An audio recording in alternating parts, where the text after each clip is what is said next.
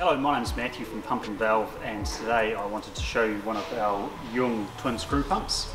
This particular pump is made in Germany and it's an amazingly versatile pump.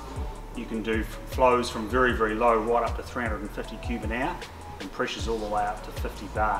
Where I have tended to sell, sell these or found where they fit into the market is replacing lobe pumps or where a lobe pump simply isn't quite man enough for the job. You need pressures that are higher or you might have had a lobe pump in an application that's been failing constantly and that's where one of these twin screw pumps will step in.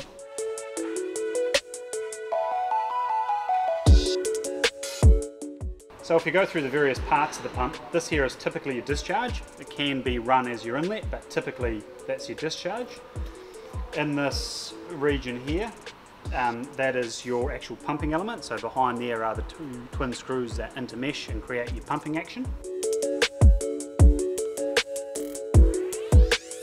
On top, this particular pump here is hopper fed, and an interesting feature of this particular pump, which is not a standard feature, is the actual feed screws in here are extended. So this has the effect of having your food product, well, typically a food product, dropping in here and then your extended feed screws will actually grab it and pull it through into the actual twin screws and then get pumped away. In this part of the pump, this is your bearing housing. And then moving back, this is your gearbox. This ensures that the two screws are moving at exactly the same RPM and perfectly in sync. This uh, hatch on top of the gearbox here is a really, really cool feature that is exclusive to Jung. Um, what the purpose of this is that you can remove it and then you can reach in and you can actually access the timing gears on the shafts. Every other pump, um, every other twin screw pump out there, you can't do that. You actually have to disassemble the entire back end of the pump to access the timing gears and in a breakdown situation that's just stress you don't need.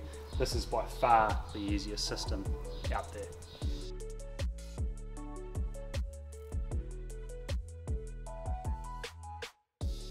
As these pumps are typically used in hygienic applications, not always, but typically, um, they carry all your normal hygienic certifications. So it's got the European EHEDG and the American 3A, um, as well as pretty much whatever else you require.